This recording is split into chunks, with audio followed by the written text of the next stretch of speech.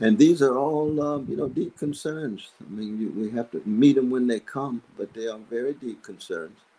And uh, and I would want to lend my name to any kind of support that they would need in order to ensure that they are both treated fairly and justly, but recognize that it's it's it's part of the war against Black freedom movements.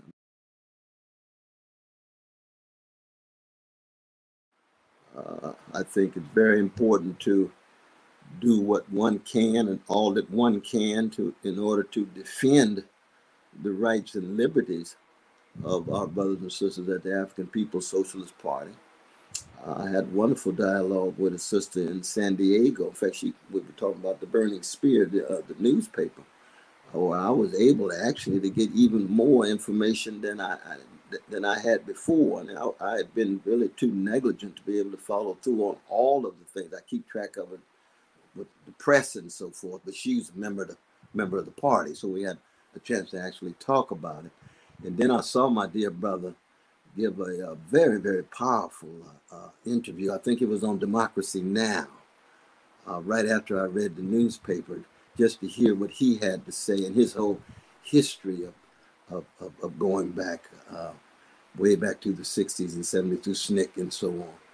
And these are all, um, you know, deep concerns. I mean, you, we have to meet them when they come, but they are very deep concerns and uh, and I would want to lend my name to any kind of support that they would need in order to ensure that they are both treated fairly and justly, but recognize that it's it's it's part of the war against Black freedom movements. I mean, it's we, we, we are in a war, and uh, um, we have to come up with whatever kind of armor we can and buffers that we can because there the charge had to do with the Russian connection, right?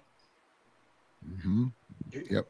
And I think those are trumped up charges. He said that he went to Spain and he went to Russia and he, he made a fascinating analysis comparing the two.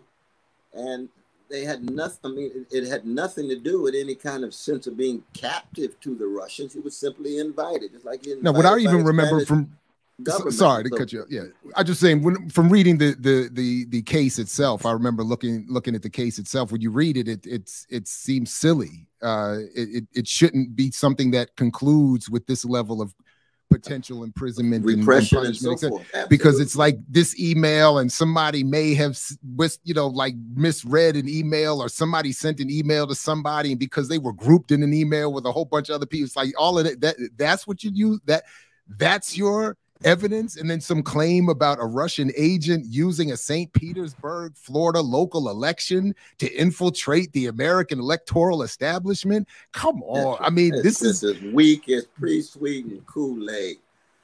You're absolutely right. And the so brother, he's just, been yeah. such a, uh, a long distance runner in the struggle for black people. Uh, you could see it in his face.